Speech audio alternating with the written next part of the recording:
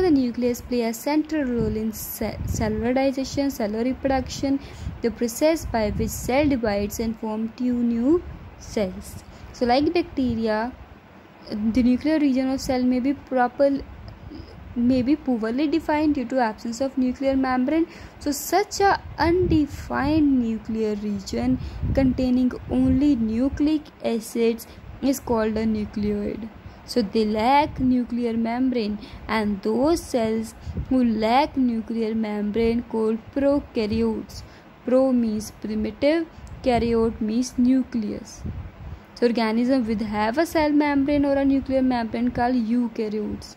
So prokaryotes also lack cell organelles whereas those are present in eukaryotic organelles we can discuss it in the help of differences given there okay. So size merely may be 1 to 10 mm in prokaryotic and between 5 to 100 mm in eukaryotic. Nuclear region. If we are talking about nuclear region is poorly defined in prokaryotes. Okay. Such an undefined nuclear region containing only nucleic acid is known as nucleoid whereas nuclear region is well defined and surrounded by a nuclear membrane. Chromosome single, more than one chromosome. Membrane bound organelles are absent in prokaryotic cell, whereas membrane bound organelles are present in prokaryotic cells.